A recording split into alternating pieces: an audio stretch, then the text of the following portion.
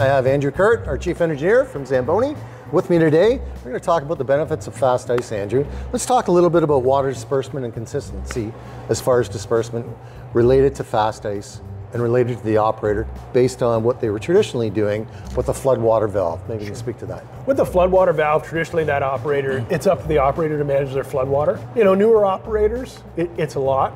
You're coming down the ice, you gotta crank the blade up, going over the crease, turn your water off, know when to turn it off in time so you're not, you know, flooding out those creases. Mm-hmm. And then you come out of the corner, open it back up, mm-hmm. and then as your speed varies throughout that, a lot of operators will just leave that lever kind of set at one point. Right. The vehicle speed does vary a little bit, so you know that water dispersion isn't perfect across the whole slab. Sure. Um, with FastICE, it uses the speed of the machine to automatically output the correct amount of water that it needs to based on the vehicle speed. Mm-hmm. Um, so we have a baseline set in there, um, and, and you can scale that one way or the other based on your preferences or facility preferences or operator preferences. Right. So we call that baseline 100%. Okay. From 100%, you can go up to 150%, or you can go down to 50%. percent mm-hmm. And it depends what you're doing, if you're building or you're maintaining, or you know if you're an NHL facility and you've just got to put down the most amount of water that you can during that flood. Right. Even if you're putting out the most amount of water, you're up to that 150%. It still does scale with the vehicle speed. Right. So it's consistent all across the pad. So as the vehicle slows down, it slows down the amount of water it puts out. Right. As you speed up,